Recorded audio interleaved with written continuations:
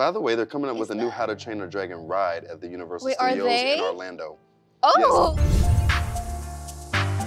I can make your life a living hell if I wanted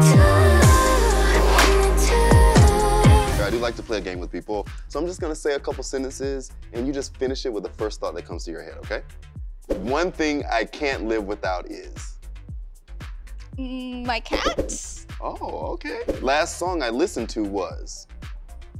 Ooh, bubblegum bitch by Oh, Marina. okay, now I gotta check that out. Bubblegum Bitch sounds like my kind of jam. I'm gonna be your bubblegum bitch.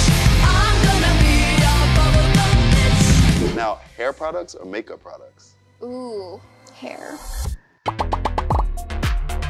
Fortnite or Minecraft? Ooh, that's tough. That's a tough one, I know. Minecraft.